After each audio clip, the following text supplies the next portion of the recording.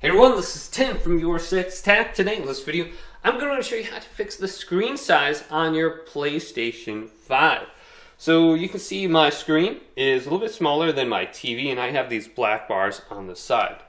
Now this could be because your TV settings or your PlayStation 5 settings. So let's go through both of those. So on the home screen here, let's go to settings on the top and select this. Then we want to go down to screen and video.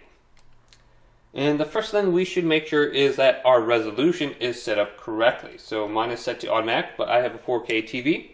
Once we look at that, we can go down to screen and then go to adjust display area. And you can use the D-pad up and down to adjust the display. So you can see I can make it bigger and just look at the corners, make sure everything is aligned correctly. And then we can go to OK. And it'll make it a little bit larger. Then also press settings on your TV remote and then go to your picture options. And you want to look through here until we get to something called screen settings. And you might have your aspect ratio at 4 by 3 or some other setting. And we want to have 16 by 9 so it fits the entire screen. Otherwise, an option called fit to screen. Or you might have an option to make your screen larger under there. But look at your TV settings as well.